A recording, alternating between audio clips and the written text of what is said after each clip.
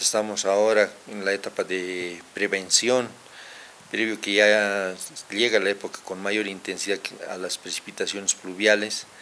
Eh, se intensifican los trabajos, así que en el sistema de drenaje pluvial tenemos programado para,